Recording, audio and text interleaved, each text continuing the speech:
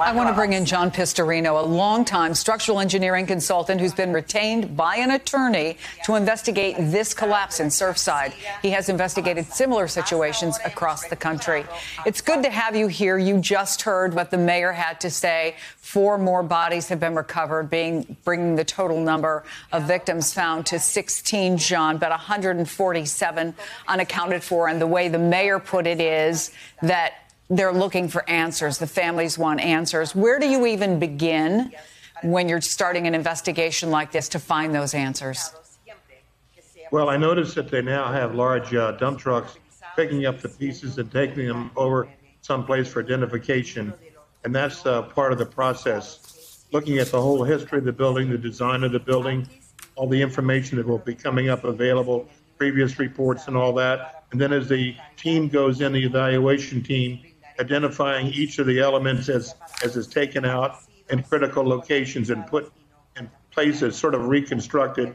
And all the experts, all the engineers have a chance to look at what we call the mode of failure and to identify where the actual failure might have occurred.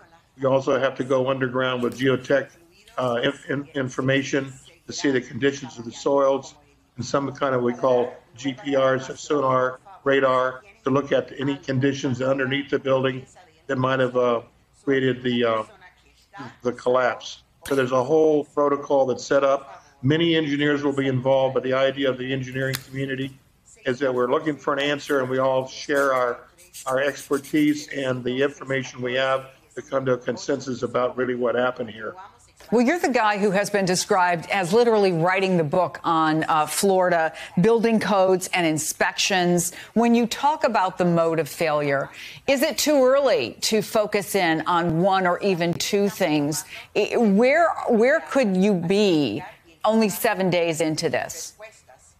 Absolutely. All the information I see coming out and all the ideas is right now is just pure, I want to say, speculation. You can't really come to any conclusions until you really start the full investigation and get into the nitty gritty. Yes, I wrote the 40 year recertification uh, program that was being utilized here, but it's intended that people who own buildings start to maintain them as soon as they build. You don't wait 40 years and then start looking around to see if there's a problem with your building just because we have a Dade County has an ordinance in place. This is something that's ongoing. So all that stuff would be considered as part of the overall evaluation.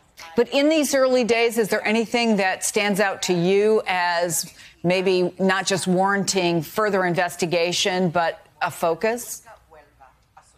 No, as I said, I think all the information that's coming out really would be considered, but nothing really, I, I really uh, don't want to comment on any of the issues right now. I think it's premature and it might be misleading.